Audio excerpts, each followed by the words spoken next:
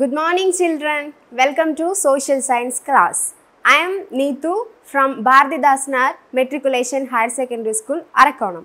Today, we are going to discuss about Social Science 8th class, the Great Uprising of 1857, Part 1. First of all, what do you know about 1857 revolt? 1857 revolt is considered as the first war of independence or Sepoy mutiny. Okay, so we have uh, an introduction about the 1857 revolt. We all know that almost 119 years of continuous rule of British in India. So during that time, many of Indians they were very angry towards the British rule. So for over a century, as the British had been conquering our country, and also the people they are very discontent and hatred towards the british rule in india. And they are always uh, showing their hatred towards them. So this discontent resulted in a number of uprising in between 70 67 to 80 57 there are a number of revolt happened in between these years so the most important among them was the great uprising of the revolt of 1857. 1857 revolt uh, existed in Meerut. Where is Meerut located? Meerut located in northeast part of Delhi. Okay, 10th May 1857.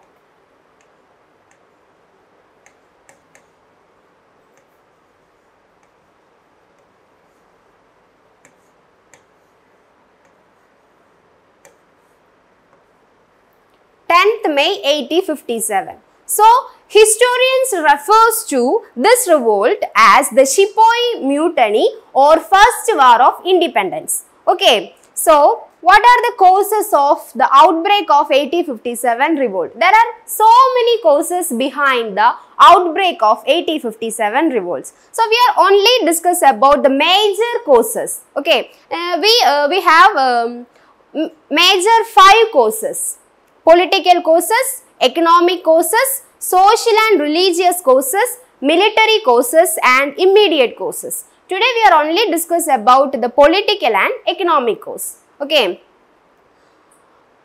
First one, political causes. So during this time, India, the Me- uh, Meerut, especially Delhi was under the control of uh, Viceroy, his name Lord Dalhousie. Okay, Lord Dalhousie. Lord Dalhousie, he was the viceroy of uh, Delhi during that period. He tried to, uh, he introduced a method that is known as the expansion policy. He want to expand his territory. So, the, so that's why he used the method expansion policy and he was an aggressive and uh, it caused great discontent among the Indian subjects and rulers. Many of the Indian rulers, local rulers and the people, they were very much hatred towards the uh, expansion policy introduced by Lord Dalhousie. So, the annexation policy, what do you mean by annexation? Annexation means to joining huh, to acquire or capture a new territory and British tried to annex that particular territory to the to their uh, region. Okay, wow. So this annexation policy of British India, the then this annexation policy we have uh, mainly we can see that two type of annexation method. First one is the doctrine of paramountcy the doctrine of paramountcy. What do you mean by doctrine of paramountcy? British claim themselves as paramount.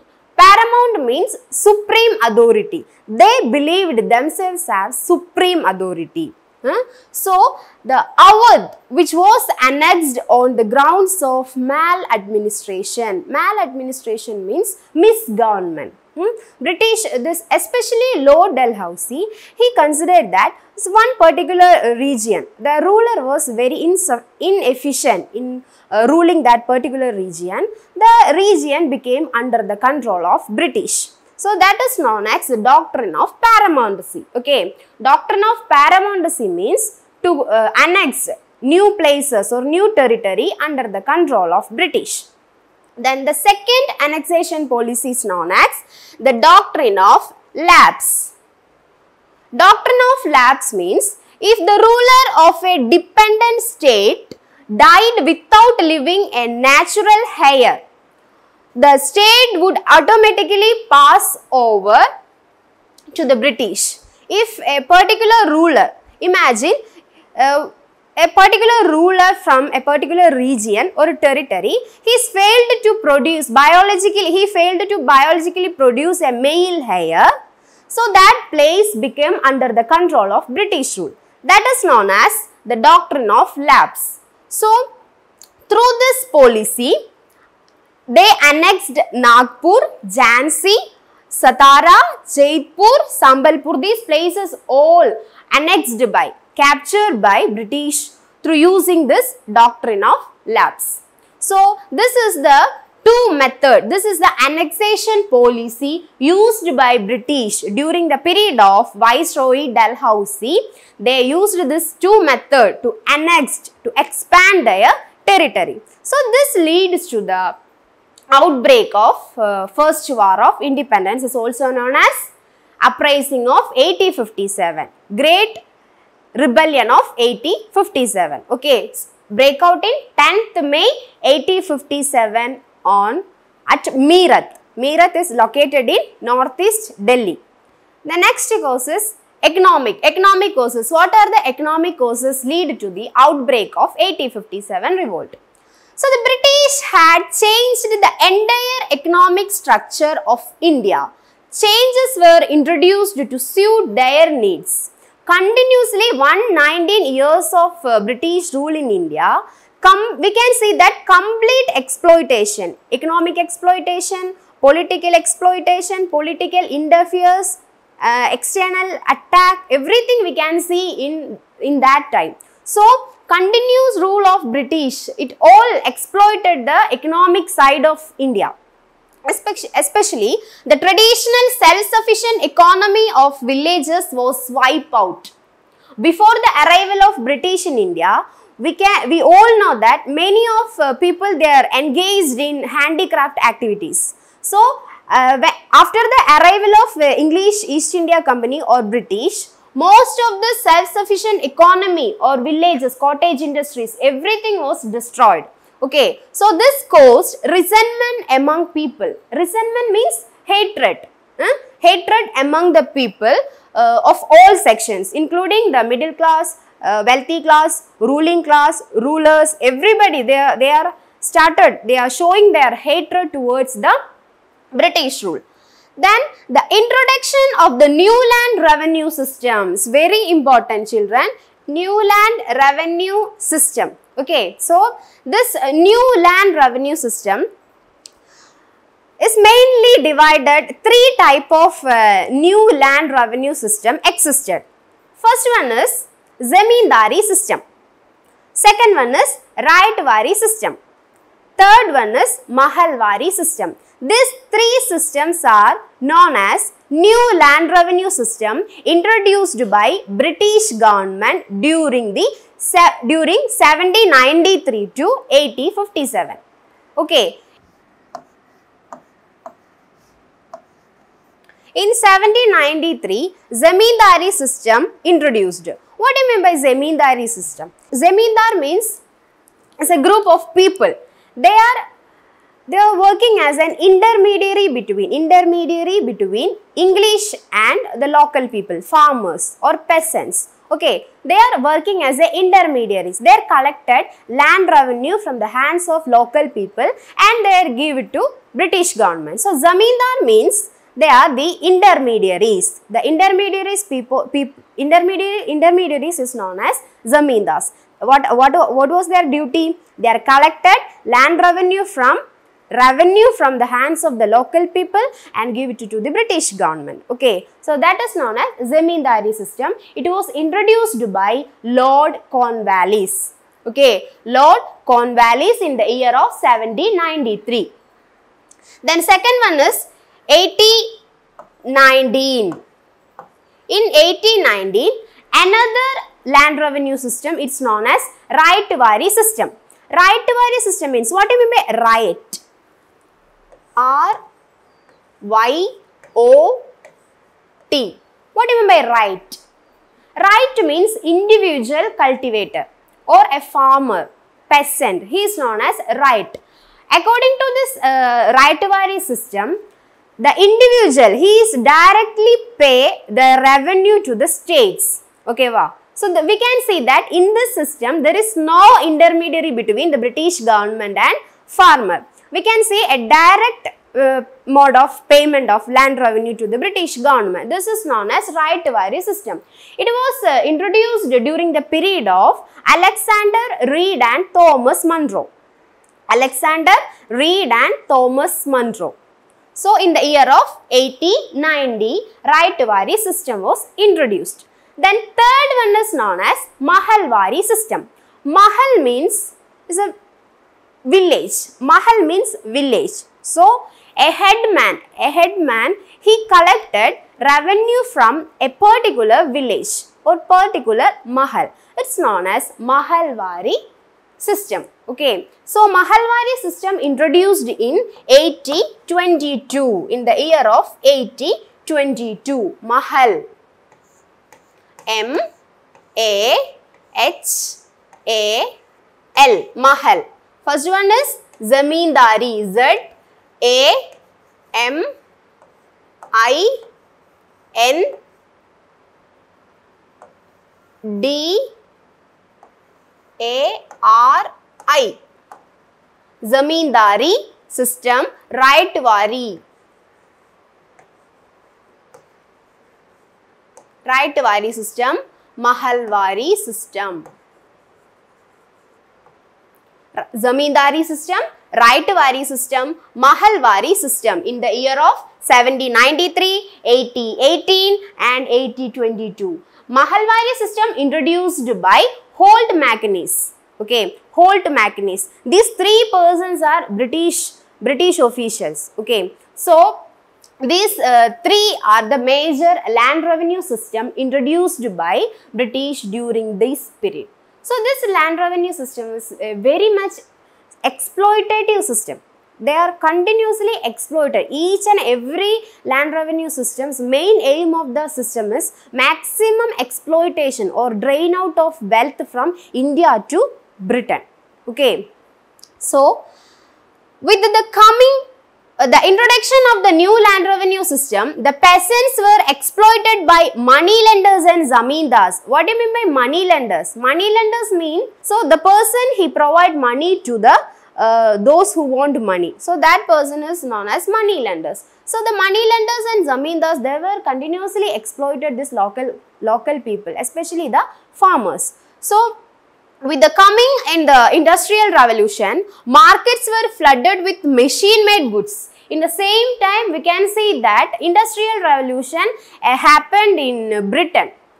So, the British, they considered India as their colony and they collected many raw materials from India in cheap rate and they collected all the raw materials and they went back, go back to Britain and they, and there they made machine goods and then came, came again to India then sell the products in our country. So, that's why they considered India as their colony. So, this industrial, during the period of industrial revolution, markets were flooded with machine goods. So, that machine goods on the, it's, uh, it's created the artisans and the weavers, their, their livelihood become collapsed. Okay, so the artisans, weavers and the craftsmen lost their means of livelihood.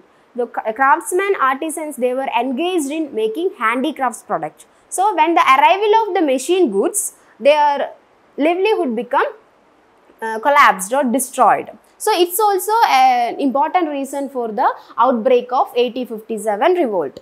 There was a constant drain of wealth from India to Britain. So, India's wealth was used to expand British trade and maintain their huge administrative staff stuff in India. So, their maximum they drain out, uh, drain out the wealth from India to British. So, that's lead to the economic exploitation, economic drain out. Dadabhai Naoroji in his, he said that economic exploitations, uh, the rate of economic exploitation is, we can't imagine that much wealth they drain out from India to England. So that's, that's the economic causes.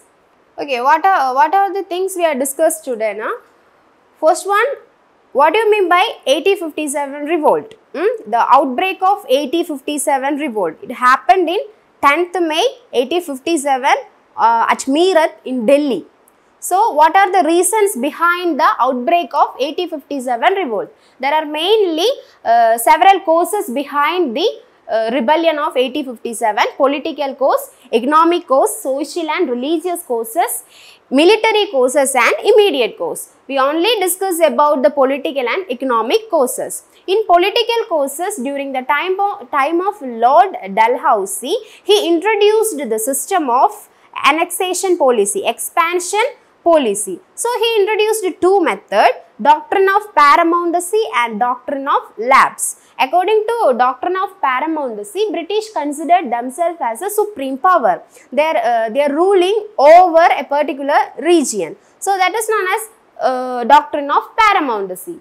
The next one is doctrine of lapse. If a particular ruler from that particular territory, he failed to produce uh, a male heir. So, that particular region became under the control of British rule. That is known as doctrine of lapse. These two methods uh, British used to annex the territory. The next one is uh, economic causes. Economic causes mainly concentrated the uh, land revenue system introduced by British during the period of Lord Cornwallis. In 1793, we discussed the emergence of Zamindari system. 1793. Who's introduced Zamindari system? Lord Cornwallis. Zamindar means the intermediaries. They he acted intermediary between the British and the local people. He collected the land revenue from the hands of the peasants and he gave it to British. This system is known as Zamindari system. The next one is ryot system. What do you mean by ryot system? Ryot means individual cultivator. He directly pay the revenue to the states. That is known as the ryot system. Okay, in the year of 1819 during the period of Alexander Reid and Thomas Munro. The third one is Mahalwari system. The term Mahal means village.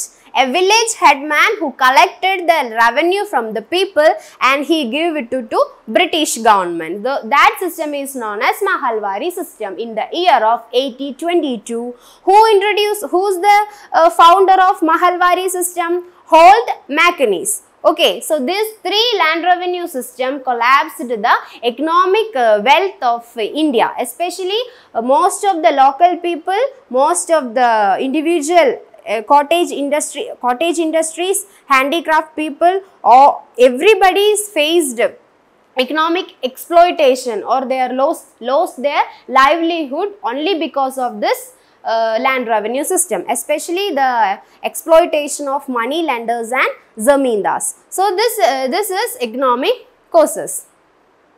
So, these are the major uh, economic and political causes lead, lead to the outbreak of 1857 revolt. That's it. I hope you understood the class and further information I have attached uh, the material, subject materials and uh, kindly go through it. Okay, thank you. Thank you all.